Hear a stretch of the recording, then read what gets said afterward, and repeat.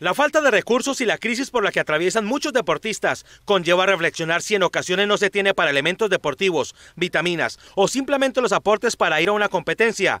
¿Cómo van a succionar los gastos de las pruebas del COVID-19 que se deben realizar cada 14 días? Si bien es cierto, las ligas son entidades privadas, el Inder Santander pretende gestionar algunos convenios para que los atletas puedan acceder a ese requisito a través de algunas IPS. Nosotros, pues mediante el instituto, lo primero que queremos y que le estamos brindando a las ligas es apoyo para la aprobación de los protocolos de bioseguridad y estamos buscando en conjunto con las ligas unos convenios con las IPS y con la Red Pública de Salud y con la gerencia del COVID para poder realizar esas pruebas debido a que la mayoría de nuestros deportistas santanderianos no cuentan con el dinero suficiente para poder realizar las pruebas. Adicional a eso que el decreto establece que las pruebas se deben realizar como mínimo cada 14 días.